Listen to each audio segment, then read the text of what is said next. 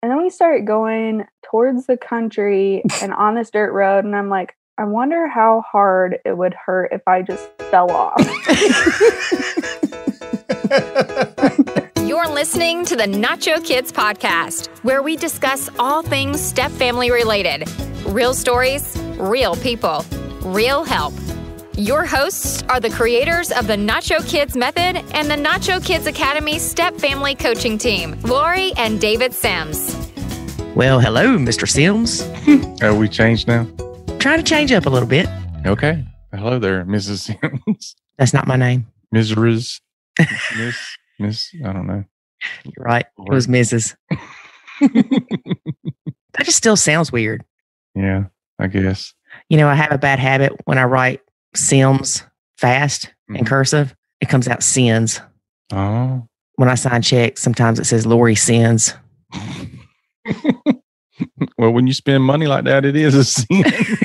And I try to go back and put a little, you know, to make an extra line for an M instead of an N.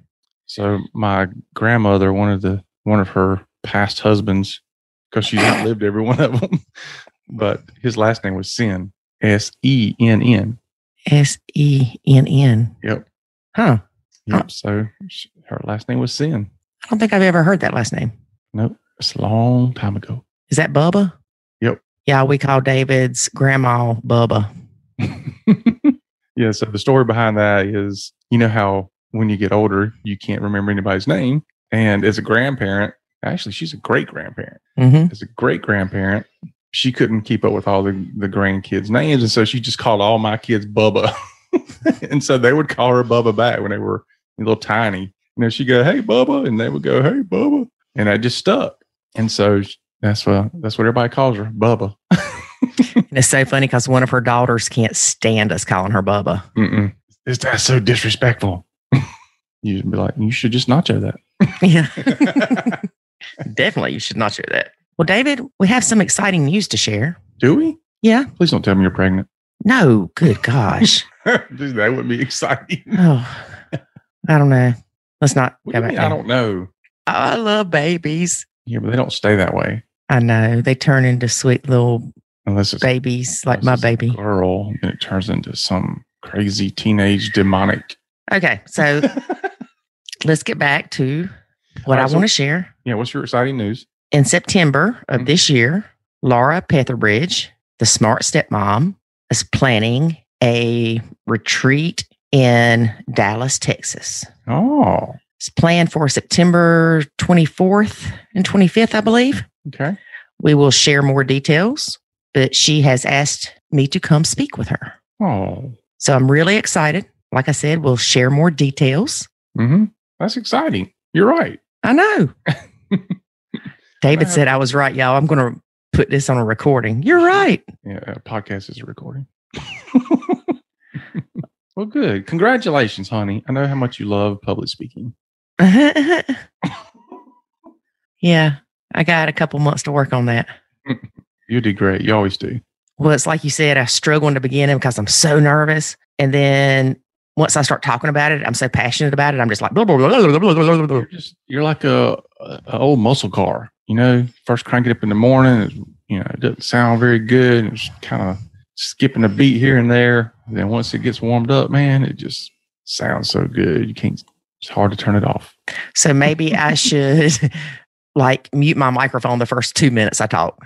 How about this? You could start like talking to yourself in the mirror that morning as you're getting ready, and then by the time you get to the thing, you've already you've already done 15 minutes into it. Okay. That sounds wonderful. Or do it in your head while you're sitting there Yeah. before they call you up. Be like, oh, I'm already halfway through. Yeah, no, I know you'll do great. I'll be fine. I'll be fine. Our guest today is Kaila. We had a Kayla not too long ago. It's not the same Kayla. Kaila and her significant other are dating and have been blending about a year. Her significant other has a daughter that's seven and a daughter that is three that he gets every other weekend. okay. The hardest part of blending for her is realizing she was not their mom, even though the mom role came naturally. Mm-hmm. Yep. It's the mom role comes naturally for so many women. Some it doesn't, and that's okay. But like for me, I joke about how I had to have like split personalities because I was mom to my son, but not mom to your kids. Right. So before I would say, you need to clean up your room after Nacho, I had to think, what role am I in? Mm-hmm. Am I in old lady hag stepmom role? or am I in, oh, that was pre Nacho. Okay. So let's go back. So am I in sweet angel Lori, daddy's wife role or mommy role? And it's hard. Mm-hmm. You don't know. I do know. You don't have that motherly instinct. I do. To what? My pup pup. no, I've got the fatherly instinct, which is basically it's almost like nacho stage one, just inbred in you. See, it's true. I know. That's why people say, I don't understand it because he doesn't have the same problems I do. He like nachos naturally. well, and again, part of that's being a man. Mm-hmm. Kaila said that she feels like her blend is unique because she didn't know anything about divorce or blended families because her parents had stayed together. It's just wasn't known to her. Yeah. Well, yeah. I mean, ours was kind of unique, which I, mean, I think most people's are unique in some way. But like for me and you, your parents divorced, but they divorced after you were moved out. So you didn't have to deal with that kind of stuff. And and then my parents, they're still together. So I didn't have to deal with any of that, even even though sometimes I think they probably would have been better off. um, but you know, it's also one of those things like the more you find out about your family as you get older, you start going, "Wow, I can't believe y'all still together," mm-hmm. because I would have put you out. but you know, the funny thing is, no, granted, I can't say what I would have felt like if my mom and dad would have gotten divorced when I was younger. Mm-hmm. But they threatened divorce every other week.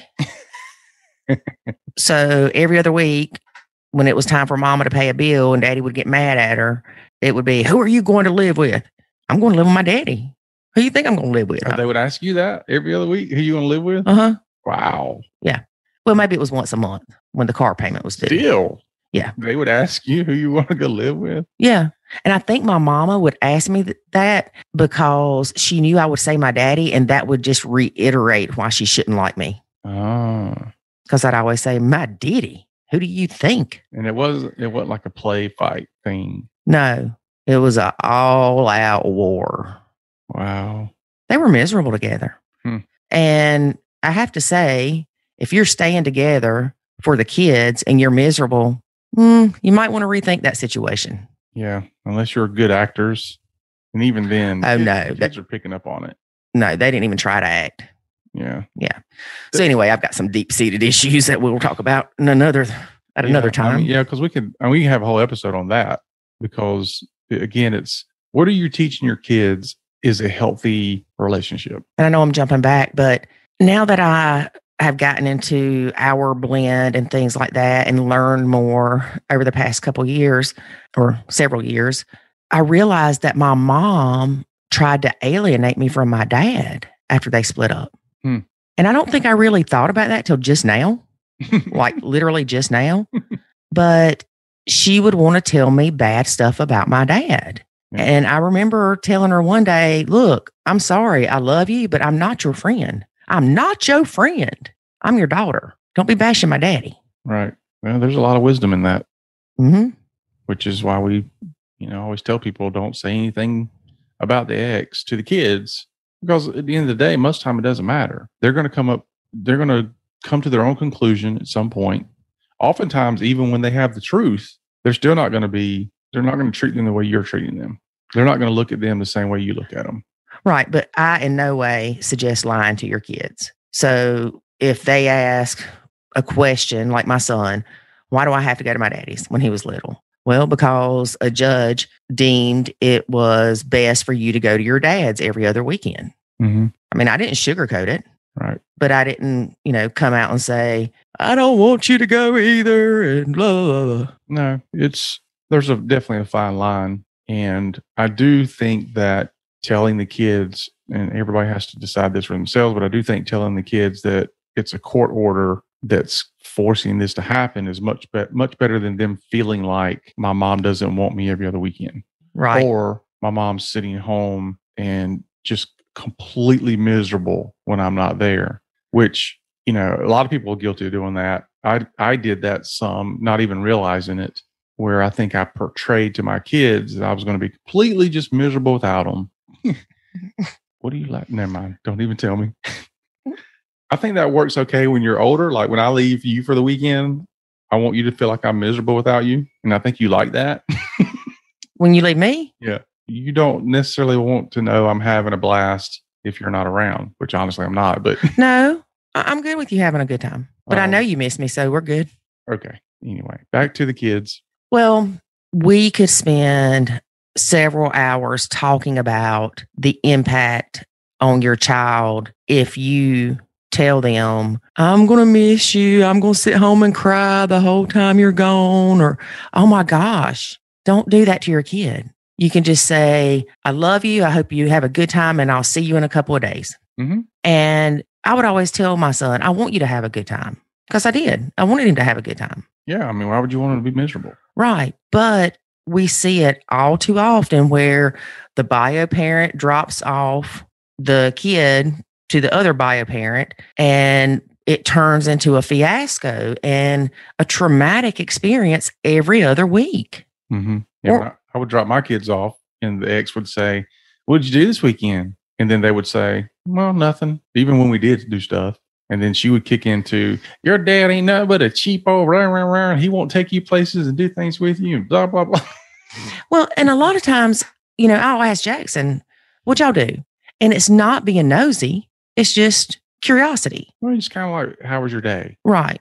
How was your weekend?" but be careful not to get upset when your kid says he has fun or if he says oh well we went and did this and you're like oh well i wanted to take you to do that your first time. You're putting your kid in a horrible situation because you're teaching them how to respond to you. Or must be nice to be able to take you somewhere if he paid his child support. anyway we're not going to get off on this tangent because we could do this all day. We really could. But just be aware of when the kids are being dropped off from the other parent, there is a transition period. And we joke about it how we wish we had a transition period at work on Mondays where you could go, Well, I've been off for two days. I need a day to adjust. well, they are kids and they are caught in the middle way too much. Yep. So don't intentionally do that to your kids. Right. And we're not saying don't tell them you love them when they're gone. We're just saying don't make it sound like that you're balled up in the fetal position, rocking back and forth in the corner because they're not with you. Yep. But don't make it sound like you're having a party either. Yeah. They're going to think about that the whole time they're gone. Right. So just consider it. Yep. All right. Let's get to Kaila. Yeah. Let's get to Kaila. All right. First, a word about the Nacho Kids Academy. There is a way to save your sanity and your relationship, and it's called the Nacho Kids Academy. In the Nacho Kids Academy, you will learn the skills and knowledge to properly nacho, techniques to handle step family challenges, ways to improve your communication, and much, much more. Visit NachoKidsAcademy.com and sign up today to join other step parents who are seeing the life changing benefits of nachoing. Again, that's NachoKidsAcademy.com. Today we have stepmom Kaila. Hey, Kaila. How are you?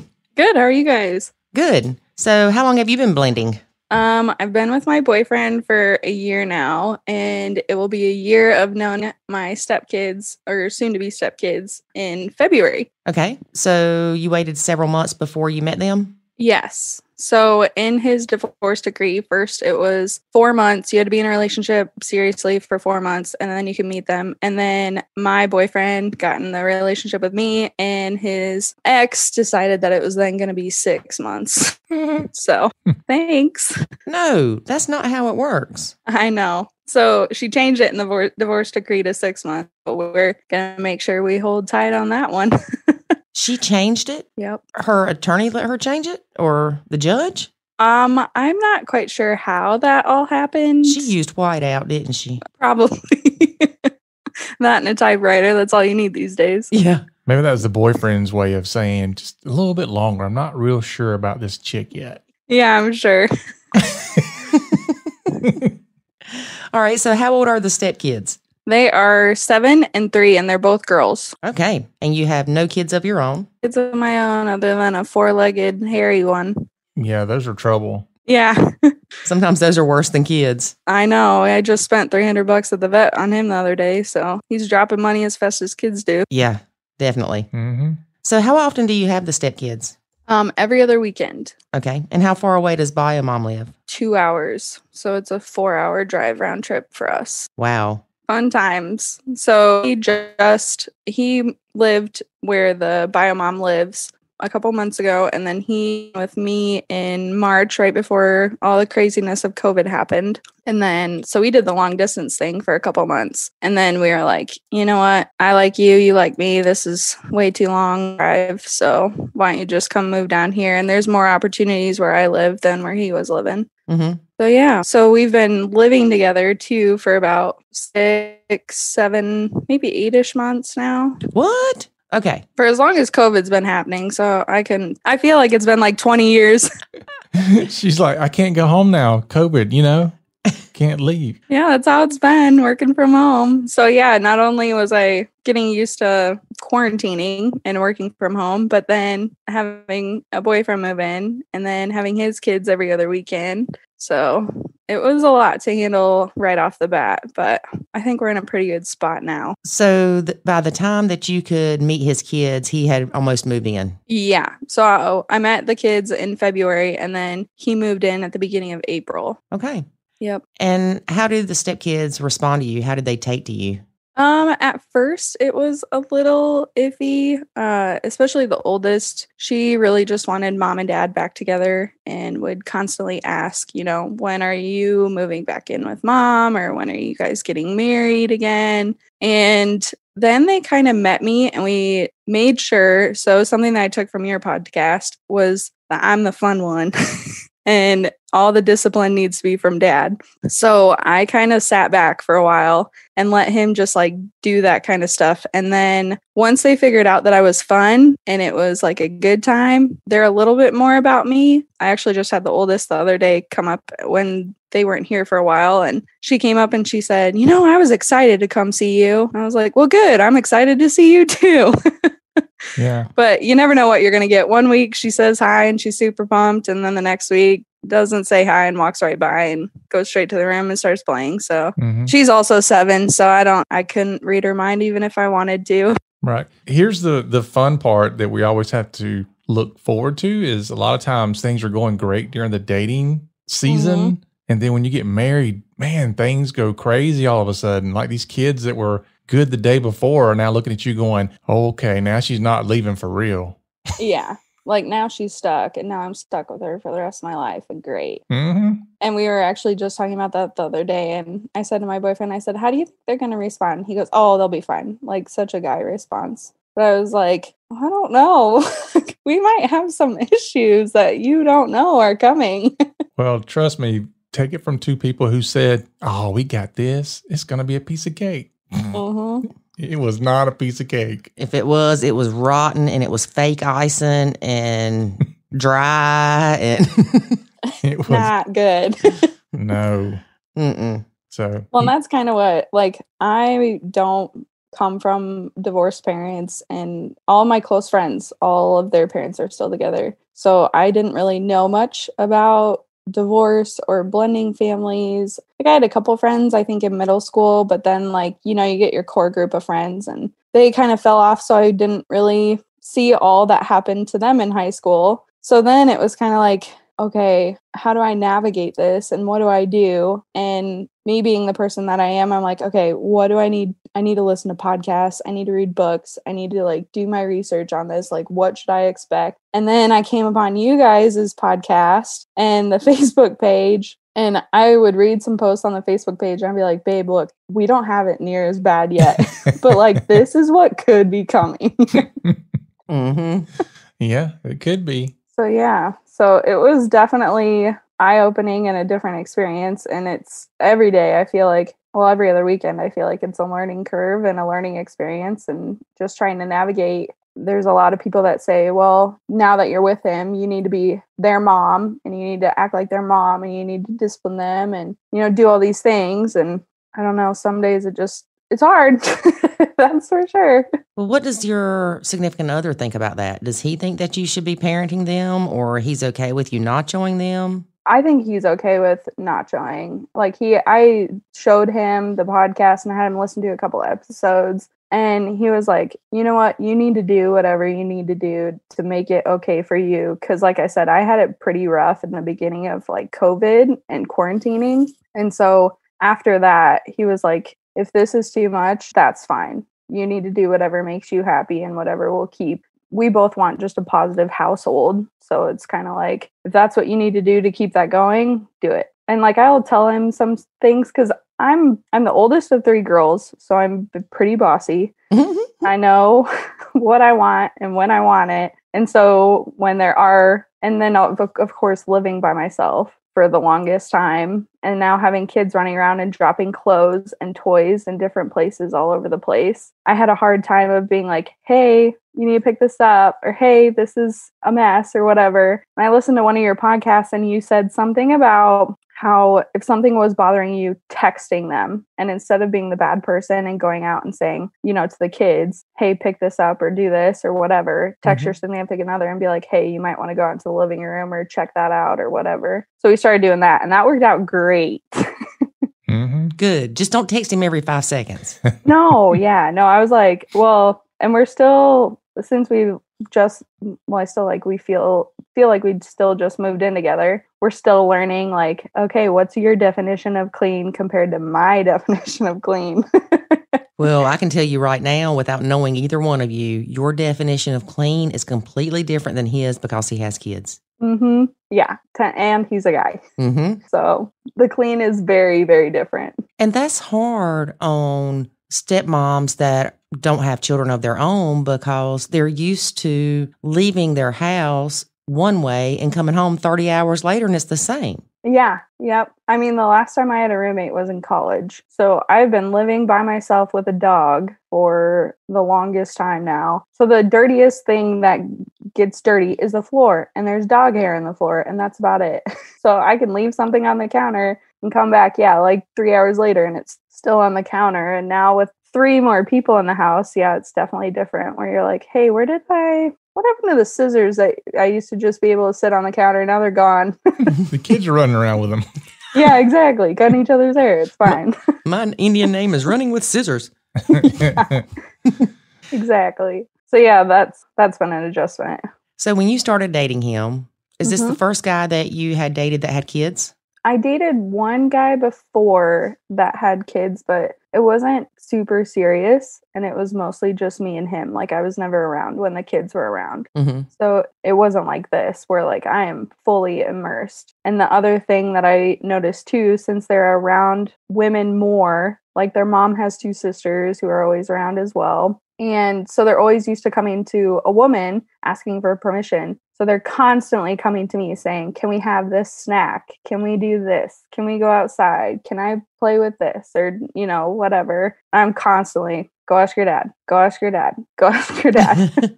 I'm like, I am not taking responsibility for what happens after that. Yeah, that's that's smart. So the good thing about it is you know about all these pitfalls beforehand. Like mm-hmm. I don't I don't think Lori and I knew about the pitfalls. We knew about some, but we, I mean, we honestly thought that we were just going to breeze through this thing. Like it wasn't going to be nothing. Yep.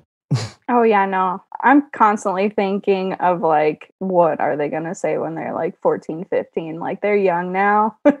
I'm just waiting for the teenage days. I can tell you what they're going to say but not on the podcast. You got you got a few years. Let's not worry you right yet yep, exactly. Enjoy what you have right now. Yeah, their sweet, cute faces coming up to me constantly, giving me hugs. I'll appreciate that. Yeah. Yeah. One day they'll look at you and their head will spin around backwards and you're like, what in the world? Yeah. But, um, you know, little hint though, happens with bio kids too. It's not just the step kids that go crazy. Mm-hmm. Oh, yeah, no. I was like the biggest B word possible when I was about 16, 17, 18. So I know it's coming. yeah. When, when you have your own, and, you know, that's whenever your parents are going, please pay her back for all the pain she put us through. Yeah, exactly. I'm sure my mom's waiting for that day. I think all parents wait for that day. yeah. I hope you get a kid just like you. oh, mm-hmm. Lord. so, do you want kids of your own? Yeah, I do. We'll probably only have one, but we'll see what the future entails and holds for us. Yep. Then the then the dog will be jealous. hmm Mhm. Yeah, for sure. Right. And when you get pregnant, you go ahead and call us.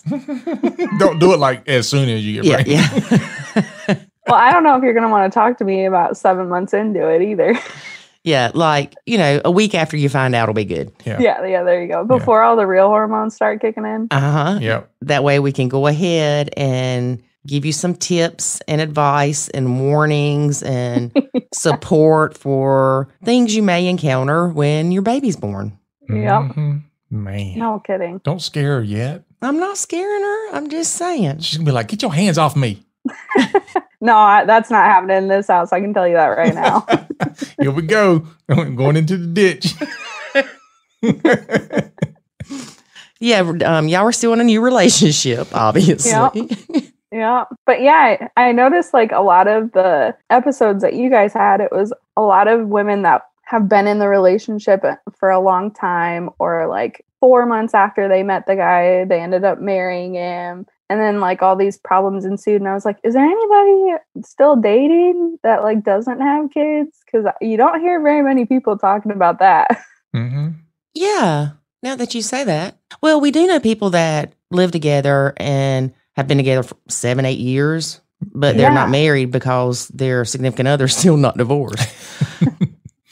Yeah. I don't think the ink could dry fast enough on my boyfriends, but Yeah. No kidding. but yeah, no, it's either they haven't gotten divorced yet, so they're not together, or like they both come in with kids. So I haven't heard a lot of people without kids that dated for a while. So yeah, it, now that you bring that up, it does seem like that people get married kind of quickly. which yeah, there's no bad thing about that either. I know my boyfriend, I think he told me what was it, like two weeks after we were together, and he was like, I would marry you tomorrow if I could. And I was like, Well, let's get those divorce papers signed first. Run, run. I'm kidding. yeah. I'm going to reserve my comment.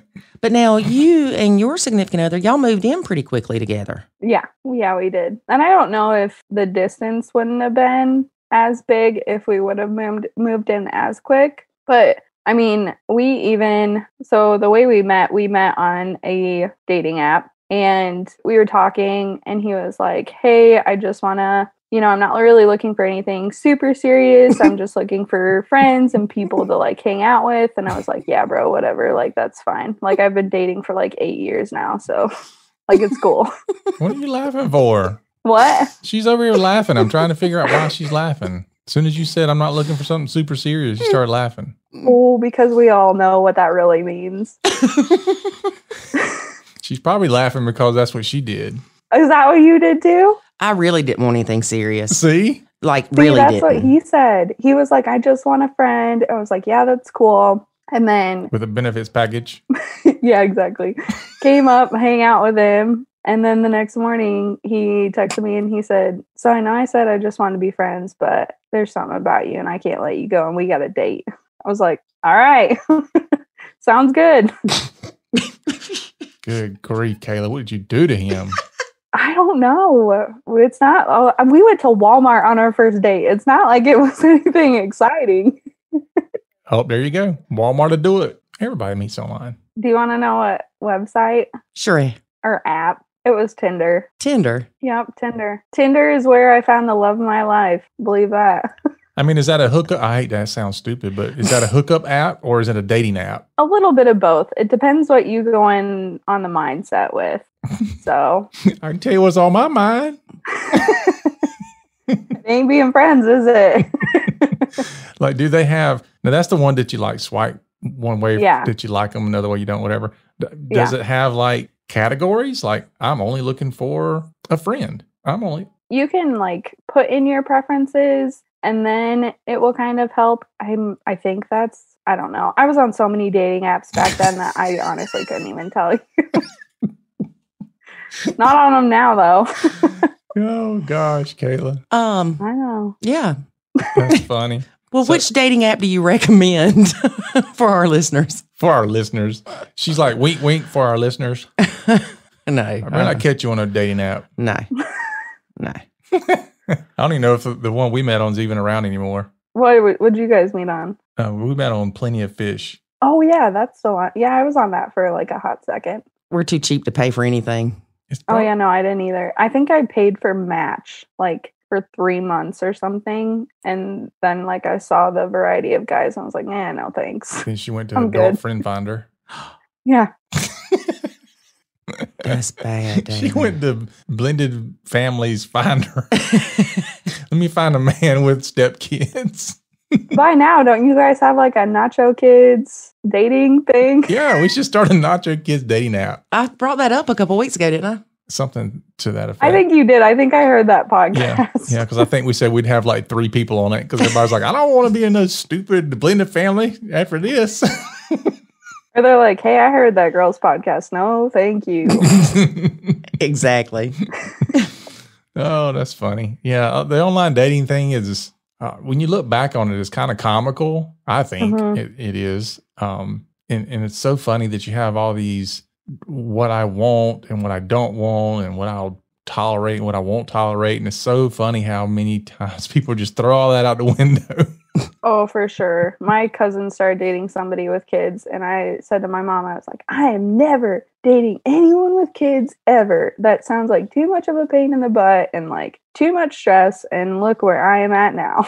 Mhm. Karma came back and bit me good. So when you saw that he had kids, did you have hesitation about it? Um, a little bit, but I guess I'm at the age now too where it there's it's so hard to find somebody who's single who doesn't have kids or hasn't been divorced before before. But yeah, I am 28 now and for the longest time it was nearly impossible to find anybody who hadn't been divorced or didn't have kids or anything like that. So after a while i just kind of like pushed it off and i was like well i think this is just going to be how it is like i'm i will probably end up with somebody who has kids Yeah, we were we were mid thirties when we were. I don't even know how old I am today.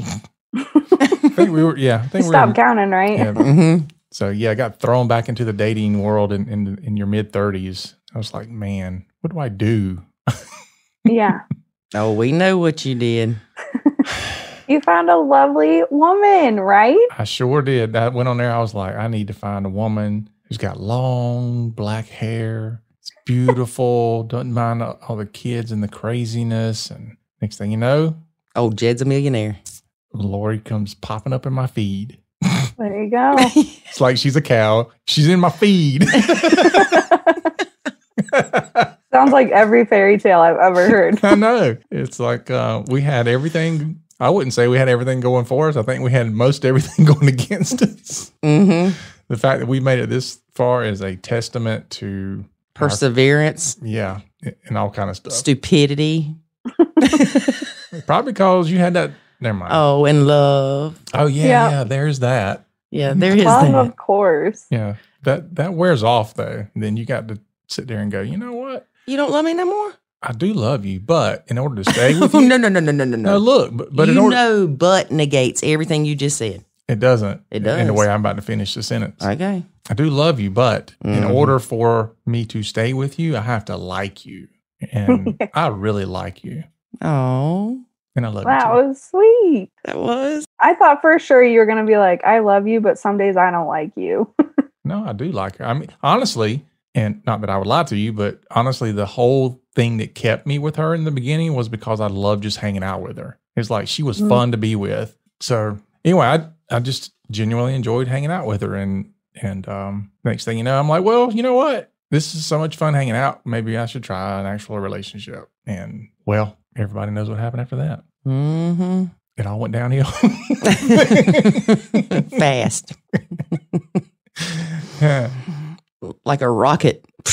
Yep. Yep. But we recovered. Yes. And we still have fun together. Yep. So see what you got to look forward to, Kaila. I'm excited. Well, that's like we were just talking about that the other day too. We were like, you know, what if you wouldn't have moved here? And what if we were still doing the two hour drive? Because, like, for a while during the week, we would be driving back and forth like three or four days a week. So it was like, you get up in the morning, drive to work, two hours, you get done with work, grab the dog, drive another two hours back, and you do that like four or five times during the week. Like at the end, I think we did it for like almost a whole week. Mm. We're like, I can't believe we did that. Like, I don't know what kind of delusional glasses he was wearing to be in love with me that much to be driving that often. But man, I'm glad it worked out. But we were saying, you know, if one of us wouldn't have put in that effort in the beginning, I don't know if we would still be together or not, you know? hmm So, Definitely. Because you both have to put in the effort. yeah. If only one person's putting in the effort, then that's a telltale sign of what the relationship's going to be like. hmm Oh, for sure. And the other thing that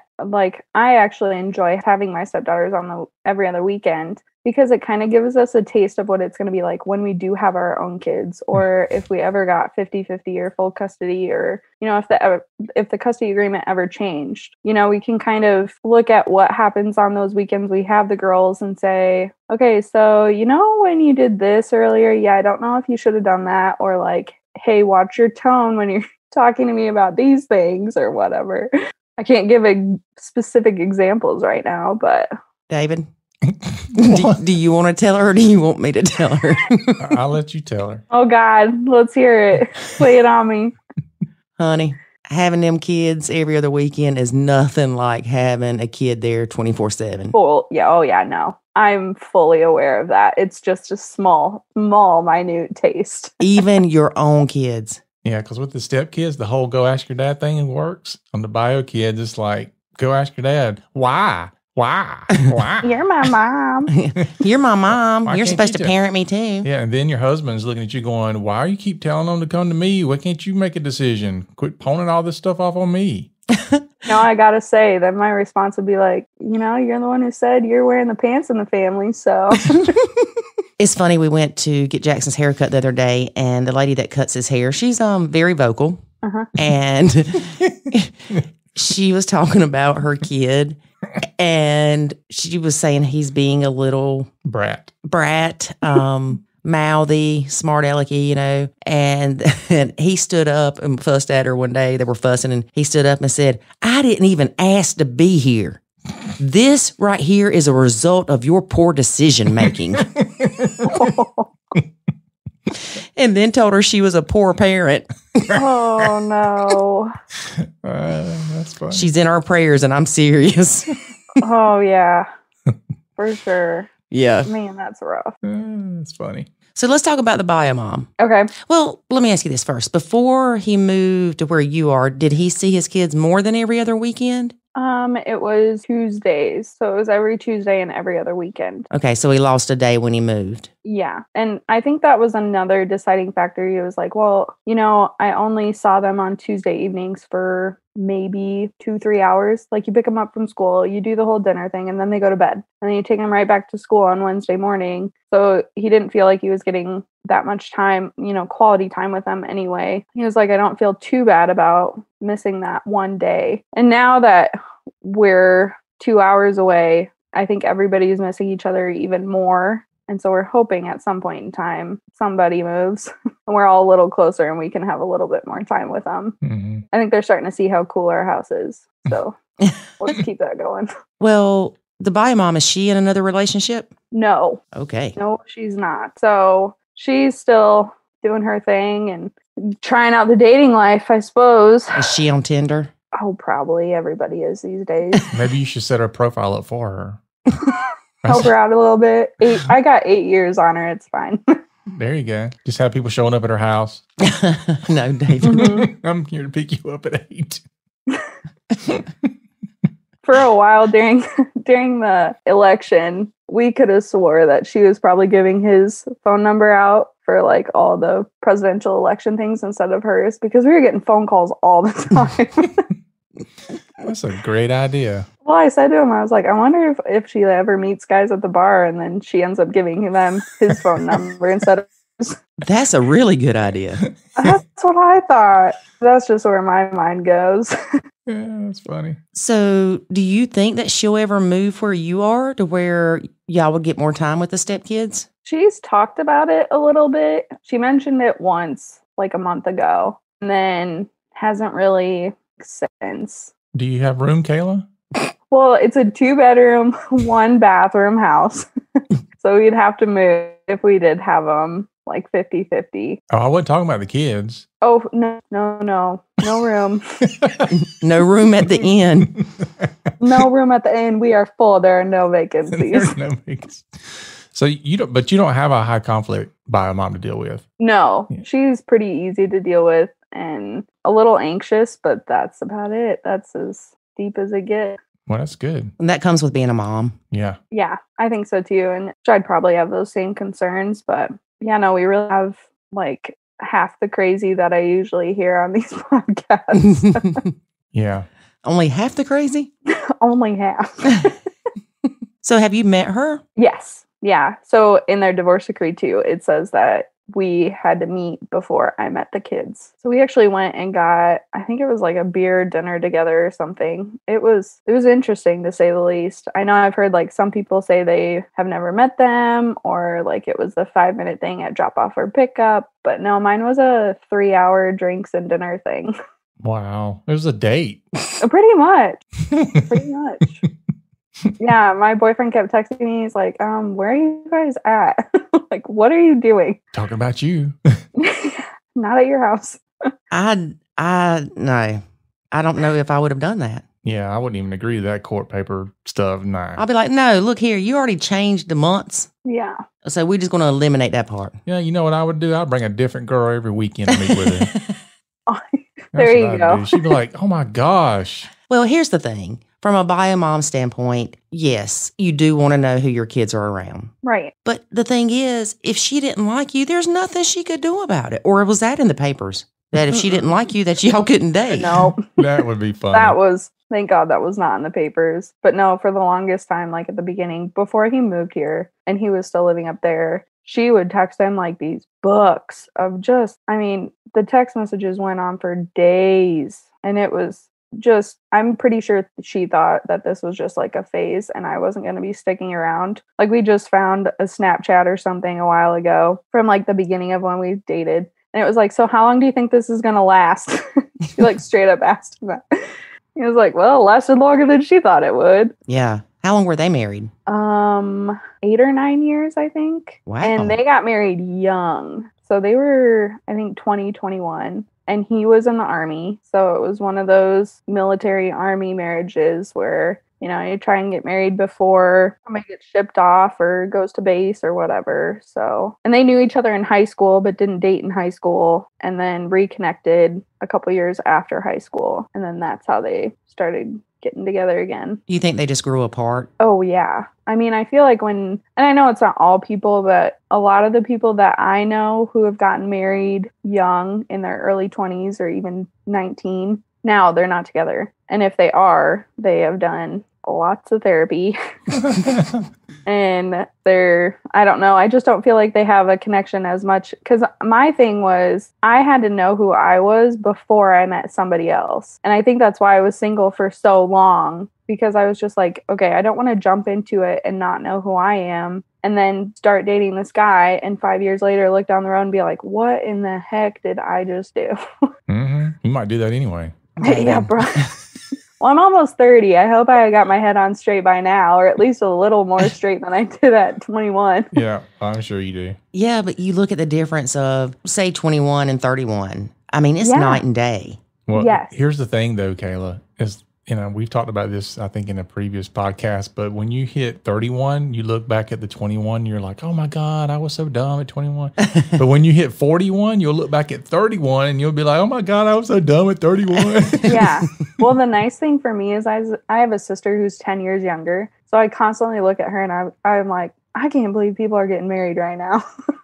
I know. like she's 18. Like if she came to me and was like, yeah, I'm getting married tomorrow, I'd be like, no, you are not. Mhm, That's so young, but it's hard to tell somebody at that age. Because mhm. a lot of us are very stubborn in our 18, 19, and early 20s. Mm-hmm. Yeah, but when you think back a few generations ago, people got married 16, 17, 18. That was normal. And stayed Oh, together. yeah. Yeah. Yeah. I mean, my grandparents are still together and they got married at 19. Yeah, I mean, if you were shoot, if you were 20 and not married yet, something's wrong with you. yeah. That's true.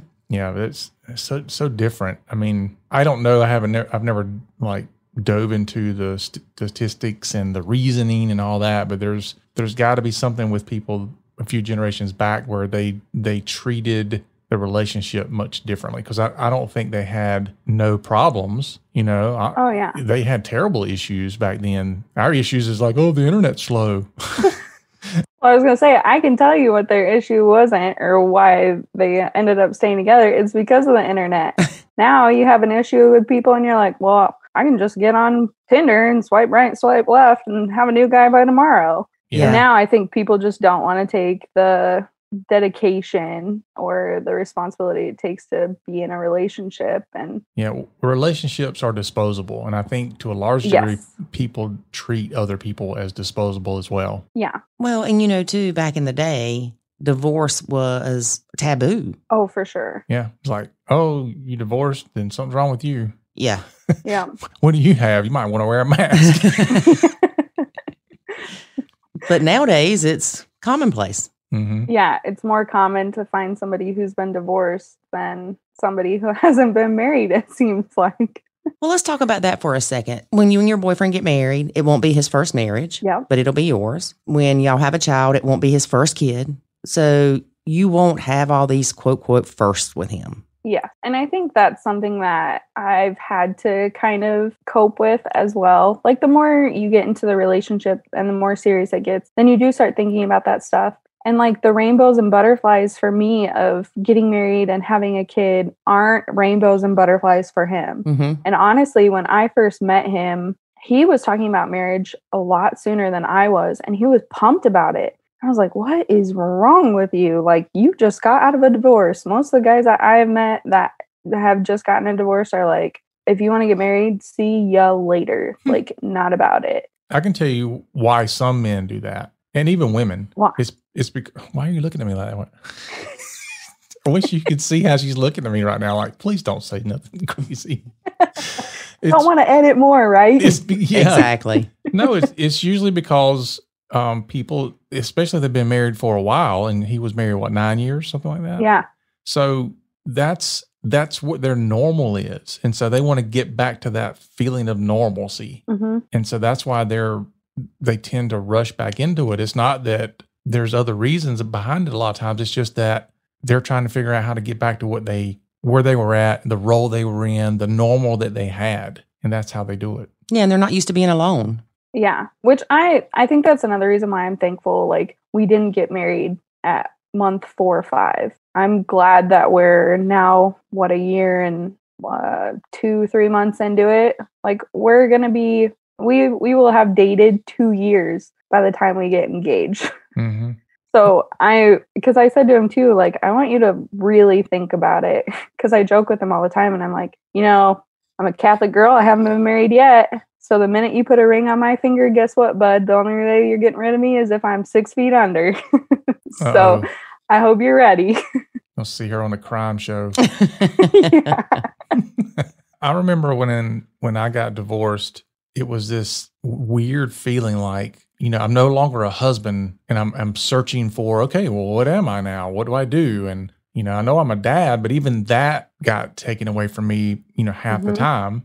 But not initially. It was it was you know, had a more, but you know, I, I'm just struggle with this whole what am I supposed to be doing now? Yeah. and so it was, it was very weird and and I kind of had a, a similar feeling when all my kids moved out what two years ago Mhm. yeah two years ago they all moved out well the last of them did the triplets moved out all at the same time and and honestly I wasn't expecting that I thought one of them was going to be here a little longer and so you know it's like literally wake up one morning and I'm like oh my gosh I don't feel like I'm a dad anymore you know all the kids are you know moved out and they're you know three of them in the military so it's not like I can go visit with them yeah. and, and the other one that is still that's not in the military he's three hours away so it was very weird for me to have to then navigate this whole not having the role of being a dad 24-7 actively Mhm. anymore it was just very it was weird I think he's definitely dealing with that too. Like we've had a lot of very deep conversations about almost that exact topic of like, you know, now he feels like he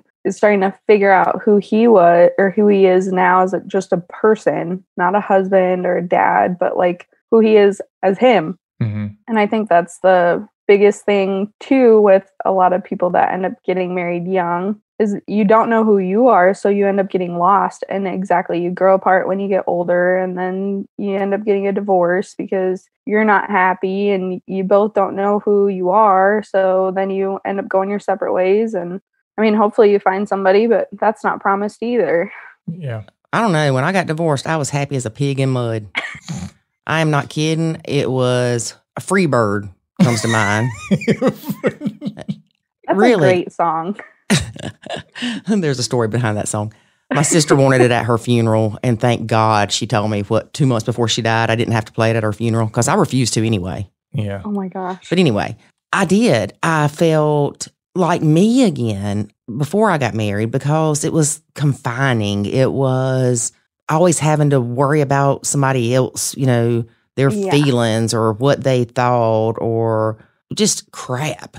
And Tell i think that's you why i've never been married and I enjoy being by myself. So that doesn't bother me and it didn't bother me. So I remember pulling out that driveway going, Yeehaw!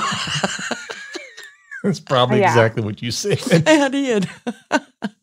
free at last, free at last. Thank God Almighty, I'm free at last. That's what I was saying. Wow. Then you came straight over here. No.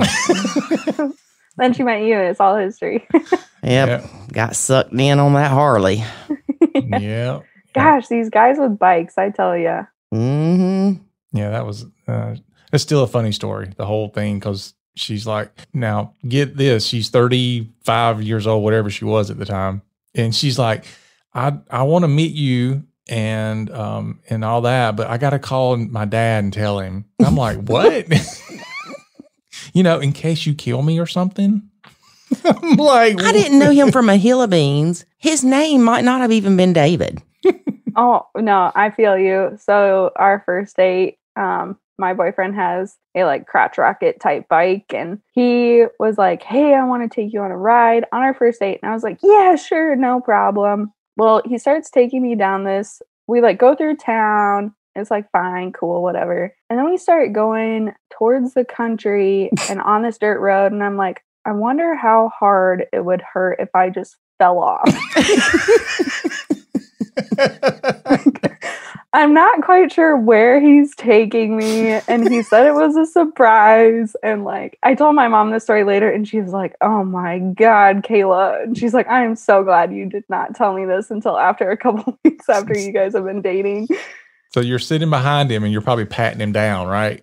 Oh, for sure. Like, what do you got on you? Like, I can kind of feel it through this jacket that you got on for your bike, but but he ended up taking me to this. this also doesn't sound good, but he ended up taking me to this lake, and I'm a big like kayaker, outdoors person, outdoorsy person, and um. He was like, Yeah, I thought we could come out here and look at the stars. And I was like, Perfect. Like, this is my kind of thing. And so I went out on the dock and I just laid down and he goes, What are you doing? I was like, Looking at the stars. And he goes, You're not going to check for like fish hooks or fish guts or anything? And I was like, No, when I get up, like make sure my back's clean when I'm up. Like, I don't care. So, so as you were telling the story, though, I'm thinking you're riding with him during the day. This was at night. No, this was at night. Like, yeah, down a dirt road. Oh my gosh! With a guy you barely know. Yep. Yep. I'd have, I'd have fell off. Yeah, I know. I thought about it. I was Tuck and like, roll, okay. baby. Tuck and roll. I know I just tore my Achilles a couple years ago, but you know, how fast can I run down this dirt road? not fast enough. No, no. I'm telling you, take it from somebody who come off a bike. It is not fun. Mm-mm. I know we joke all the time. I'm like, man, I'm really glad you didn't kill me on that first date. Thank you for not killing me. Yeah. Thank you for not being a serial killer. Make that part of your wedding vows. Oh, for sure. Yeah. yeah. Too bad I didn't think about that.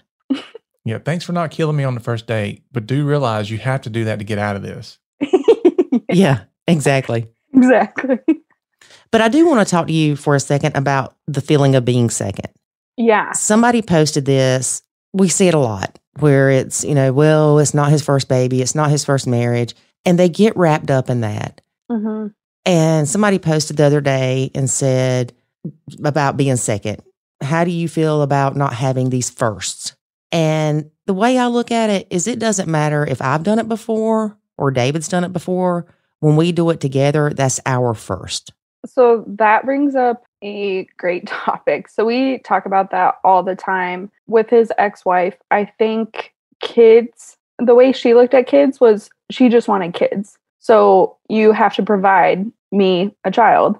And he would say that all the time like, well, women just want guys to have kids. And I said, "No, that's not what like if that's what I wanted, I would have I would have like 3 by now." but I don't have any because I've been waiting to find the right guy that I actually love and would like to procreate with and that I think is worthy enough to procreate with. And you just happen to be the one that I found at 28. And I was like, so for me, it's not just having a kid to have a kid, it's having a kid because I love you and I want something that's a mixture of us both. And it is hard to think that, you know, he's, he already had this thought process, but then, you know, how is it going to be when I do it, when we do actually have a kid together? You know, is he going to be excited about it or is he not because it's not his first kid? And I know once we have a baby, the minute he looks at that kid, he's going to be pumped. So it's like, I don't know. Go ahead and warn him not to go, well, when my ex was pregnant, da, da, da, da, da." or, you know, when my ex had that baby, she just pushed him right on out. I don't know what you're crying for. I'm going to be like, you need to shut up. Tell him do not compare the pregnancies or anything. Mm-hmm. Well, and that's the one thing too. Like when you're dating, it's also hard because I feel like I constantly am like, well, is this what you guys did? Or like, is this how you guys parented? Or like, how did you guys handle situations like this? And sometimes eh, that's okay. But sometimes I have to remind myself, like, it doesn't matter. Like, this is our relationship. That was their relationship. And even with the kids, oh, I was just thinking about something and now I totally forgot. Oh, thinking of like the mom role and stepping into the mom role and thinking that you have to be their mom and, you know, doing all this stuff with them to feel like they have a motherly role in their life here, even though they already have a mom. That was hard. That was really hard to like not step into that parenting role because I feel like as women, we like naturally do it Yes. and naturally go into it. hmm And then when, you know, they've already been parented for seven years. So they already know what they, you know, are supposed to do or want to do or whatever. And you're thinking, well, that's not how my parents parented, or like, that's not how I was as a kid. And then you try and shape them into this other person. And me having to like step back and think, okay, I'm not their mom that was hard. But then I kept looking for like a word to use instead of mom. And I don't remember what post it was, but it was one of the posts on your Facebook page. And it was like, okay, it's hard to think that you're either a mom or a babysitter. And thinking that you're a babysitter was just like devastating to me. So I was like, I'm not even going to think that way. And then I thought, okay, they don't need a mom. I'm not a babysitter, but what can I be to them? A And scapegoat. the word, it, yeah, exactly. Well, that happens a lot. But the word that came to mind was a role model. Like they just need a role model. As long as I'm being a good adult figure in their life that they can hopefully take some good attributes or tr- or you know personality traits or traits in general from then I feel like I'm doing my job. But getting out of that like mom mindset was very hard. hmm yeah, just the title stepmom bothers me. Same, same. I don't know what to for them to like call me or like what for it to be, but Tender like lady. Tender lady. so one thing too, Kaila, that happens often is, and and I hope it doesn't happen to you, but when the when the ours kid comes in, you'll start. Well, I won't say you will, but sometimes what happens is the dad is spending the same amount of time or energy on the ours kid, Mhm. and you notice that, and and oftentimes it's because of guilty parent syndrome and all this stuff. That because his other kids don't, you know, they don't they don't get to be there all the time, and so he feels sorry for them, or or he doesn't have to, you know, parent them all the time. So when they're there, they go out and have fun and all that, and and he's not doing the same thing. He's not as excited to see the ours kid because you know he or she's there all the time. So there's a big difference in dynamic, and that'll and that bothers the other parent. So Yeah. you know, for in your case, we'll just assume it's happening. It would bother you a lot. You're like, why Yeah. aren't you gushing over our kid the way you're gushing over these other kids that are kids, yours? Yeah. And um, It's because he doesn't see them as often. Yeah. And I'm wondering how that's all going to go down because my boyfriend, his both of his parents were married before they met each other. So his dad had a kid already and then his mom was just married before and then when they got together, they had him and then his parents got divorced when he was 18. So it's like it will be interesting to see how the dynamic goes. Yeah. But don't let that be something that brings you down. Try Yeah. to put yourself in his shoes and try to remember, yeah, he only sees his two kids every other weekend. So, yeah, he's not going to be as attentive to your child Mhm. during that time. hmm Yeah. And if possible, still give him some alone time with his kids. Like you take the baby and go visit a friend for a couple hours to give him some time with his kids alone. Yeah, and we even do that now. Like where either we try and because I go to church every Sunday morning. So that's at least an hour and sometimes I'll even go get breakfast and bring it back for everybody or whatever. So it could be even 2 hours. We constantly try at least a couple days during the weekend for them to have like two, three, four hours totally alone where it's just them, I'm not around, and it's their time together. I think that's super important. And I did see somebody said the other day too on the Facebook page where, you know, when they have their kids, it's their time to spend with their kids and you spend time with your kid. So like take that as like one-on-one time just like you guys were saying. Right. And use your child as your focus. Mhm. Don't focus on, oh, he's not showing me any attention or he's always catering to his kids. Don't don't even go down that road. Yeah. Just take your time and enjoy your kid. Because before you know it, your kid will be older and you're like, crap, I spent five years and I didn't even spend time with my kid because I was complaining about him not spending time with our kid. Yeah. Yeah. Yeah. I've seen that on the Facebook page too.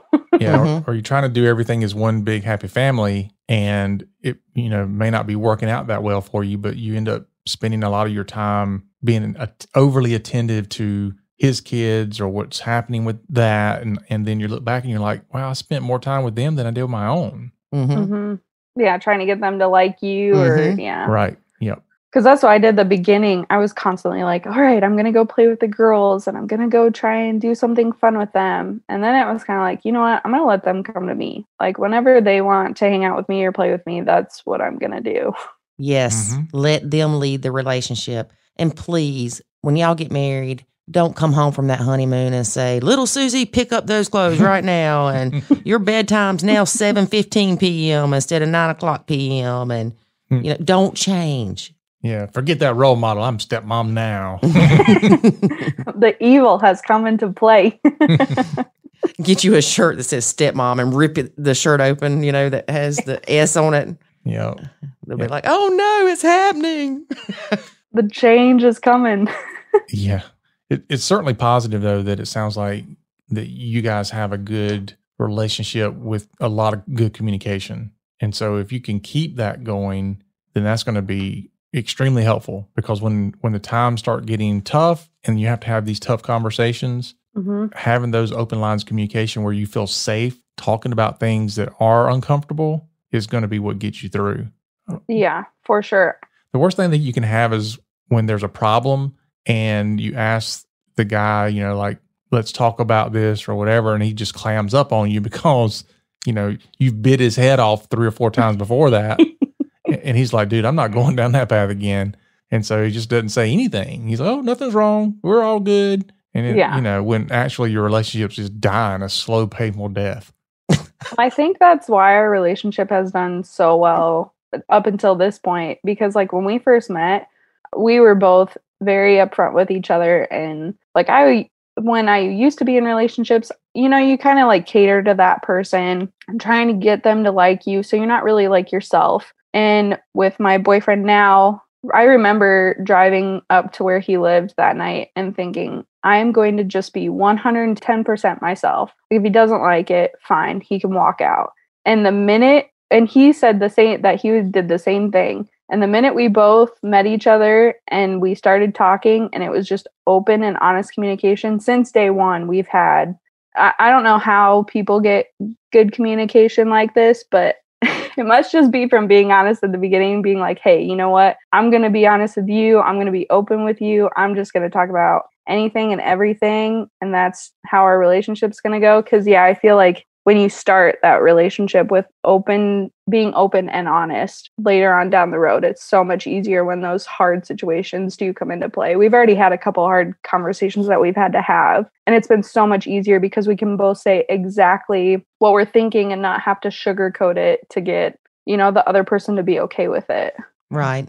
What, what do you think about that, Lori? What? The open and honest part at the beginning? Because you and I were really open and honest in the beginning. Probably because we weren't trying to have a relationship. We were just hanging out. Um, I agree that that's you know the more open and honest you are in the beginning, of course, it sets the precedence for your relationship. yeah David views things differently than I do of how our relationship was in the beginning, apparently, because I was quite a bit more honest and open than he was. what? But that's okay because that just means he forgot all that crap. You, what, wait a minute. What do you mean you were more honest? isn't that like men's short-term memory loss Well, I can I can probably agree that it, that she was more open than I was. But I don't know about honest. Maybe I don't know. I don't want to go down that path. I I'm was get, hoping you wasn't going to ask that question, but you brought it up. get so- myself in trouble. But whatever she says is probably right. So I'm just gonna leave it at that. so I'll edit all that part out too. she came to my. You got a lot of editing She to came do. into my life at a at a time when I was confused a lot. yeah, to say the least. oh that was my boyfriend too But the thing about it is, you still have to be careful because if his kids start aggravating you, hmm you can't go to him and be like, "You're bratty youngin." hmm You know, you have to be tactful. You have to have compassion. You have to not talk about things when you're mad or hungry or what hungry, angry, lonely, or tired. yeah So don't talk about things when you're in those situations. And just be careful how you approach things regarding his kids because he will kick into protect my kid mode. Mhm. Yeah. There have been, I've seriously, all of the podcasts that I've listened to and some of the stuff on Facebook, it's been pretty good.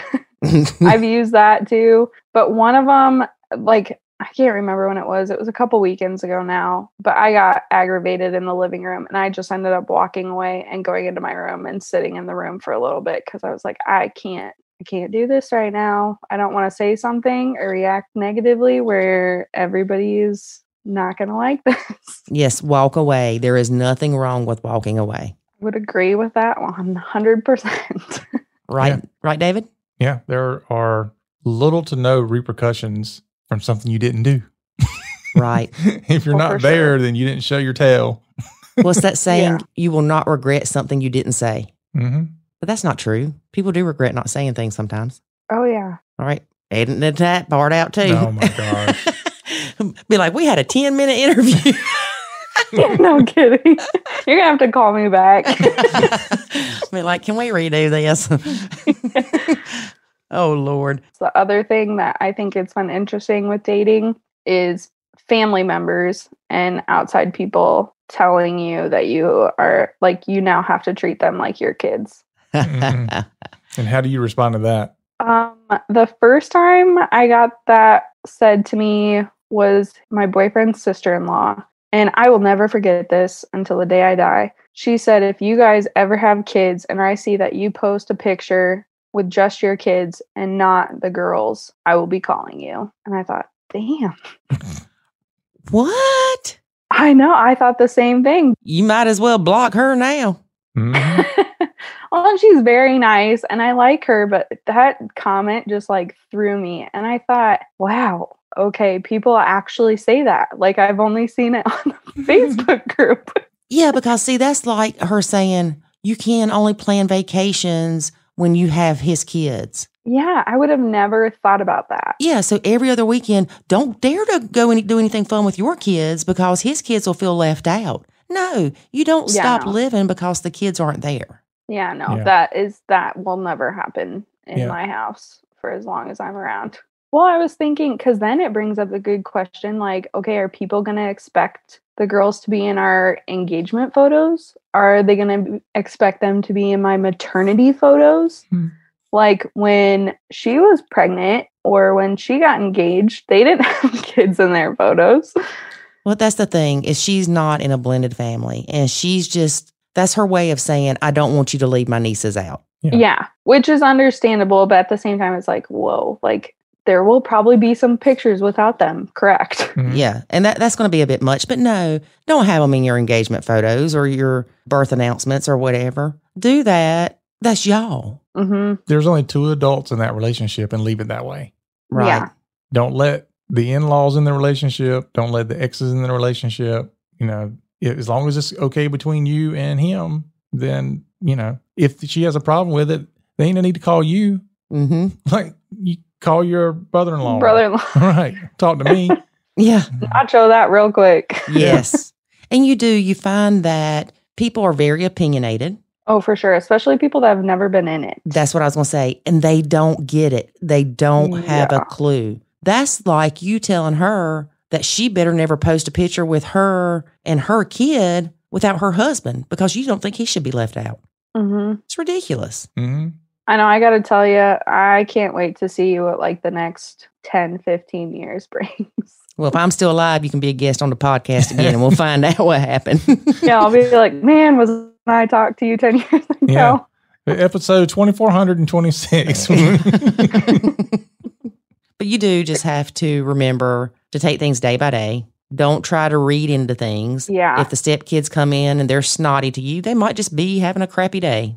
I remember when we first started out, and yeah, one uh, one day the seven year old came in, and I was like, "How do I ride this roller coaster?" Like one weekend she loves me, the next weekend she doesn't want anything to do with me. One weekend she loves me, the next weekend she doesn't want to do with anything to do with me. I was like, "This is exhausting." And then finally, I thought, you know what? I'm not even gonna worry about it. Whatever mood she comes in this weekend, that's the mood she's gonna be in, and I'm gonna have fun regardless. Right. And that's what you have to do because she may feel guilty for liking you. Oh, for sure. There's a lot to say about those loyalty binds. Oh, and they're huge. Like Mhm. I remember I think I wrote something on the Facebook page one time about that and somebody was like, "Well, she might just feel like she needs to be loyal to mom." And I was like, "Yeah, that's I mean, mom is alone and she doesn't have anybody else around. So yeah, she probably does feel like, you know, I have to be on my mom's side." Hmm And that just makes it worse when bio mom's not with anybody because when y'all have her kids or his kids, when y'all have the kids, then all of a sudden her focus is on her not having them. Yeah. Yeah. Especially if, you know, mom's like, oh, I'm going to miss you. I'm going to be by myself the whole time you're gone.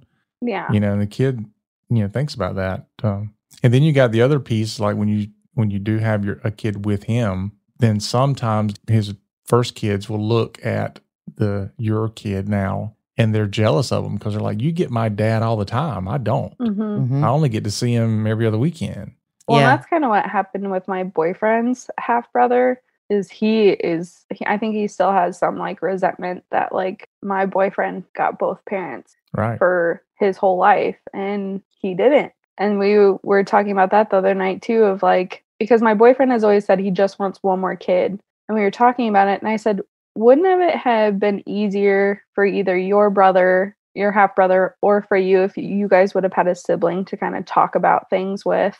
And he's like, "Yeah, that would have made it a lot easier." Mm-hmm. Because then you have somebody who's also in your corner. Where like his kids, there's two of them, and they are constantly. I'm sure they're once they, especially when they get older, they're gonna talk about it and they're gonna, you know, compare notes on what happened when they were younger. Yeah, and just hope that bio mom doesn't go, oh, your dad doesn't want you anymore because he has a new family. Uh, I don't think she would. She's also from a divorced family, and she loves her stepmom. So Oh, it's like, good. I can't. Mhm. I hope the same thing happens with your kids, but I hope your kids still love you too.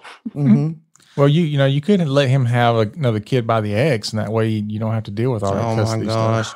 Ha ha ha! Yeah, right. stuff. That's a brilliant idea, joke. David. you just avoid all those other issues. You just create more of different issues. Sounds like so much fun. Exactly what I signed up for. Now y'all know why I married him. He's a genius.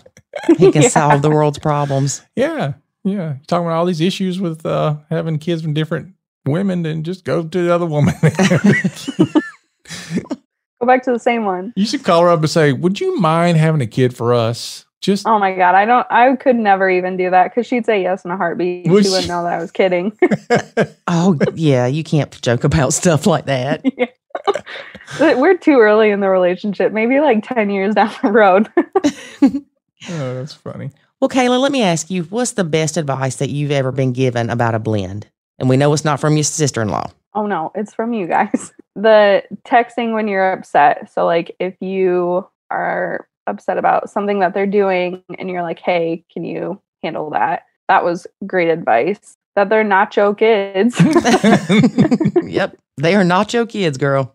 Go ask your dad. That's another good one. Yes. But yeah, I think that's that's all I got for now. I know I have more. I just can't think of it It's all off the good. top of my head. Yeah, you'll remember when we finish. I know. I'm gonna get done with this. I'm gonna be like, gosh dang it, I should have said this, this, this, and this. It's kind of like when you get a fight with your ex or your boyfriend, and you're like, oh, hmm Yeah, I had all this ammunition. I didn't shoot at him. Doggone it. Let me try to remember that for next time. Let me write it down in my phone. yeah, exactly. I know I should have taken notes before I got on here. you remember that one couple, David, we had a long time ago that they would record their arguments. Oh yeah, and then map it out. yeah. Yeah, they would. That was like crazy. A great Not a idea. bad idea some days. No, it was a great idea, but I was like, man, they record the fights and then they uh, put it out, put it on a spreadsheet. You know, when do they fight? What do they fight about? How So do they resolve it? Yeah, how do they resolve it? So that yeah, they're. Well, I think both of them were like statistical analysts or something like that. So, Mapping people. yeah, Oh yeah. And so and that totally made sense for them. Some days I say to my boyfriend, some days, I want to record you so you remember what you said. Well, girl, let me tell you something. I should do that for me every day. I'm thinking everybody should walk around with these police cams because Oh my gosh. Amen. between my son saying, You didn't tell me that, Uh-huh. and David going, Well, I never knew that. Or me even doing it to David because he'll be like, I told you that. I'm like, No, you didn't. hmm Oh yeah, that happens a lot. I need proof. Yeah. yeah. That I'm the not same crazy. way. Why didn't you tell me you was going to? I'm like, I had a whole conversation with you about this. No, Maybe in your sleep. I'm like, you couldn't uh, understand me because you was up there with that thumb on that phone, just pew, pew, pew, pew. you swiping left and right. Oh God. All right, Kaila. Well, we're going to end on this note why David and I are still married. Perfect. Sounds good. I mean, at least he knows to swipe left or right now. I know, I didn't know that before. Okay, well, David, do you swipe right if you like it or left? Oh, I, I don't know. Okay, that's where you got a problem then. Yep. I would, Can't go anywhere now. I would assume left is not like. You're right. Good job. Yeah, it's you in the because it's, it's easier. Your thumb moves better to the right, so you want to. I don't know. I swipe to the left a lot. Yeah, see, I'd be. See, I don't swipe. I don't swipe anything. I don't use my thumb. Yeah, I don't know. See, I'd be making sound effects if I was on there, or you know, throw them away. I mean, I'd be going next, next, next. hmm well, it was funny. A lot of my girlfriends who are in serious relationships, they get on my Tinder just to do it. Yeah. oh, you still have your account? Oh God, no! It's been gone. We deleted it together. One Oh. morning, we both woke up and we were like, "All right, we're deleting this stupid Yeah. thing." I had- oh, had that's to- sweet. I had to delete Lori's. She w- she couldn't get rid of it. Yours is still active. You lie. Well, they moved you to plenty of old men. I will say this though, we we wished that we would have screenshotted all of our like messages back and forth and our profiles to see like later on when you're like, oh my gosh, I forgot what that said, or I forgot our first conversation together. Lori remembers so, what was that question I asked you that you, you were like, oh my gosh. if our kids were all in the ocean drowning, which one would I save? Yeah, and, and we didn't know each other yet. This was like the first time we ever talked. Oh dang. I mean, on my profile, in my bio, it said if you're not six feet or above, see ya. Yep. That's, I said if, if our kids were, were drowning, well, I think I said one of my if one of my kids and your kids were, were drowning, which one would you jump in to save? Mm-hmm. So what'd you say? Whichever one wasn't saved. I think she said, I, I'll no, jump. whichever really, jump whichever in. one wasn't saved. If if both kids, you know, if one kid didn't know Jesus, then that's the one I would save. Oh, I thought that was a pretty good answer. that is a very good answer. Yeah. I patted myself on the back for that one. Yeah. Yeah. hmm I love when those answers come out and you're like, dang, good job, man. yeah, I think it was like you asked me five or 10 questions and then I asked you five or 10 questions. Yeah. I, I remember mine were perplexing questions. I miss those days. The 20 questions days when that's all you guys did. Oh, yeah. Now I know everything. we do that every day. Do you remember me telling you this? No, that was one question. Yeah, I know. 20 questions, but it's the same question all day. It's like the what is it, forty first dates? I mean, that's pretty much us. that reminds me there's this older couple that I met several years ago and she had dementia or Alzheimer's whatever and he didn't but he was still old so it was hard for him to remember stuff hmm but they would just laugh like if she didn't remember something sh he would just start laughing and she'd laugh too and I mean they made the best out of it it it was never an issue that she couldn't remember crap That's awesome. see David that's how we got to be You can only hope that you're like that. yeah hmm I know. I'm waiting for her to wake up and look at me and go, "Who are you?" I'm like, "Come on now, I know you remember that." you never know I It might happen. know. I know. That's when you sit there and you're like, Chris Hemsworth, babe. Yeah, that's who I am. Have you seen him lately? who No, Oh my gosh, who he's getting ready for Wait a minute, who? Chris Hemsworth. Chris Hemsworth. So he's getting ready to play the uh, to play Hulk Hogan, and he's he's massive. Like his Hmm. arms are bigger than my legs. he's a big hulking dude. I don't even know who that is. He's got to play Thor. She's like, I don't know what that is Nope. either. I don't. Okay, who's your man crush? Who my man crush? No, not you, Lori. Oh, I was just, My man crush? if you weren't, with- husband? oh my gosh, That is a great answer. that's such. It's true. when I was younger, it was um, Scott Baio. See, I don't know who he is because you're young. Uh-uh. yeah, she's like, what? Or the guy that, um, golly, what's his name? He played on Full House, the dark headed guy. He used to be on General Hospital, and his name on there Oh, what was is Blackie name? or something. Oh yeah, I know you're talking about. He, John Stamos. yeah, he hadn't Yeah. aged a bit either. It looks exactly the same he did 30 years ago. Yep. Yeah, I think that's it. Anyway, So my man crush crushes ended. They're gone. they're gone. How are they gone? I don't man crush over anybody but you, baby. Oh my gosh. I think that's the sweetest thing I've ever heard. That's the that's the sweetest lie I've ever heard. I don't lie. Mm-mm-mm. We're not even going to ask you who your women crushes are. I don't have any women crushes. I don't even know any women anymore. I've just been locked up in COVID. I thought you were going to use the same line she did. that took a turn. The only other female that I love on is my dog. she gets more of the attention than Lori does. yeah. she doesn't push you away either. no. That's what I told my boyfriend. I said, Those poor people at Subway on my lunch break, they're the only people that I talk to all day other than my boyfriend. Mhm. They're like, that girl comes in here and it takes her 45 minutes to order her sandwich. Get the heck out and get back to work. Take your food. She's like, do, do y'all have step kids? Yeah. Can we talk? yeah. Well, Kaila, thank you so much for being a guest on our podcast. We really appreciate it. And keep in touch and let us know how things go. Yeah, I definitely will. And thank you so much for having me. And keep on nachoing, girl. Keep on nachoing. Yeah. Stop swiping Thanks. it and start nachoing. She's stop swiping. Yeah, I stopped swiping like a year and a half ago. Oh, you remember what was a door that's for? That's what I was Swiper, just no swiping. That's, hey, that's pretty fitting for the age group that my stepdaughters are in. there you go. Swiper, no swiping. I thought that at the same time you said it. That's scary. And but watch later, we'll be like, what was it we were talking about? yeah, Blues Clues. I don't remember. You just messaged me. Hopefully, I'll remember. there you go. we just start laughing for no reason.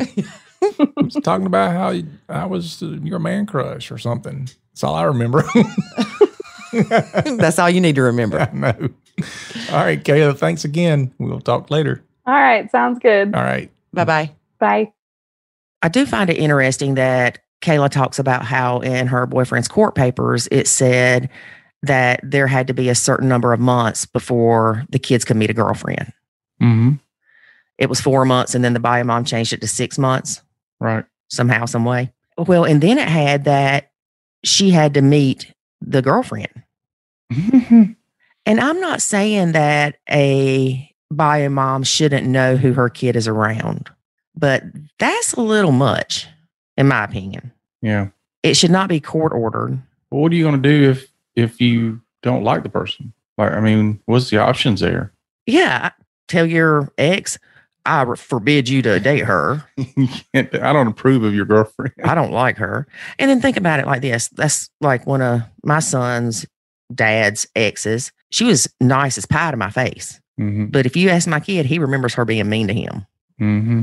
So just because you meet them and they seem nice and whatever, that doesn't mean that they're not being mean to your kid. Look, tell tell them what I used to tell mine. Actually, I, I told it to you. Your ex, no. tell who, tell what, tell Tell- when. Tell. I don't know who to tell. I'm gonna say to you, listener, what I used to say to Lori, which is always be nice to your stepkids because they may be the one that decides which home you go into when you get older. yeah. I, hey, I'm living with Branson because Jackson's already trying to put me in a home. Lori's like, I hope you take care of me when I'm old because my kid wants to put me in a nursing home. He does, like next week. it wouldn't surprise me if I see elderly care pamphlets start coming in anytime soon. Ah, that's true. Yeah. Yeah. Yeah, he's not going to take care of you. At least he's telling you now. He's setting up those expectations Yeah. early on. Yeah. But again, I do see where I would have loved to have met some of these women that were rotated in and out of my son's life, but I don't see what the point would have been. Because, like I said, they can be nice to your face. hmm Well, I, went through that feeling as well, where I was like, you know, what kind of dude are you going to have around my kids? And um, I mean, there was nothing in our court papers, and honestly, I couldn't have done nothing about it anyway. I just had to hope that she made good decisions, and often she didn't. But they weren't terrible. Like it could have been a lot worse. What we know. yeah, what we know. Well, and that's the thing too, is like you said, what if you would have had it in your court papers and your kids come over here and like, oh yeah, we met Fred this weekend. Well, is Fred her friend? Is Fred one of her girlfriend's friends? Y- you don't know. Mm-mm. And what are you going to do? File contempt? Like, we met Fred on Friday. We met um, Joe? Kevin on Saturday, and we met Joe on Sunday. hmm And I'll be like, yep, that sounds about right. So again, don't get me started on the court system, but a lot of stuff in the court papers, mm, they're not going to hold up. You're going to spend a lot of money and play Russian roulette with the court system. Yeah. Spend that money on your kids or your house or something else that's going to bring you joy. yeah, because we had in our papers originally that there could be no paramours spending the night, which means basically your boyfriend or girlfriend couldn't spend the night when you had the kid. Mhm. And that didn't bother me. I was fine with it, of course. But Jackson's dad didn't like that. But how could I prove it? It's not like he lived in a neighborhood that you could put a PI out on the street. He lived kind of back in the woods. So I'd have to get proof. Even if I got proof, you don't know if the judge would care.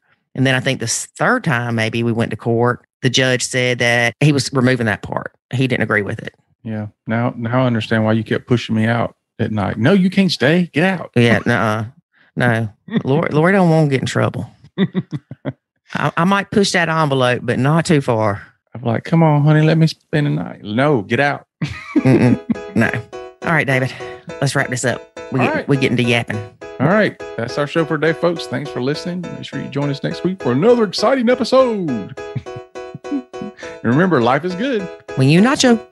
Thanks for listening to this episode of the Nacho Kids podcast. Find us online at nachokids.com. Until next time, remember, life is good when you nacho.